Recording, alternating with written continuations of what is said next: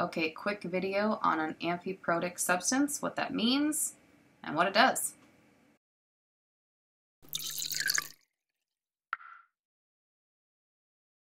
All right, amphiprotic. Okay, we know the prefix of amphi, like an amphibian. It can live in both the land or the water. Okay, so amphi does in fact mean both. And an amphiprotic substance would be one that can be both a proton donor and or a proton acceptor meaning it can act as a proton donor, it can act as an acid, or a proton acceptor, it could act as a base. The most common amphiprotic substance is water, okay? And here's regular water, right, H2O. It can donate a hydrogen, it could get rid of one of its hydrogens, and go this direction to be just OH.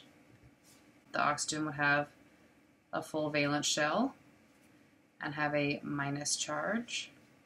This would be OH minus if it donated a proton. It can also gain a proton if it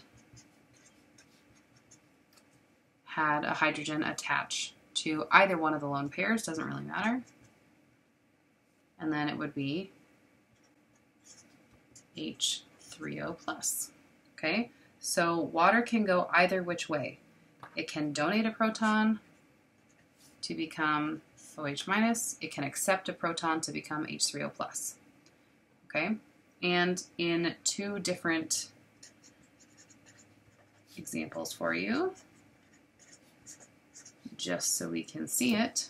In this case, right? Water with nitric acid. Well, nitric acid is going to donate the hydrogen, so water would accept, and this will become H3O plus plus NO3 minus. And just so we make sure we know, this would be the acid, the base, the conjugate acid, the conjugate base. Okay, if I had NH3, ammonia, plus water, in this case, my water is going to donate the hydrogen to ammonia. So ammonia becomes NH4 plus ammonium, and water becomes OH minus, becomes hydroxide. So this water in this case would be the acid, ammonia is the base, conjugate acid, conjugate base. Okay, so Water can act as both the base, the acceptor, or the acid, the donor. Amphiprotic.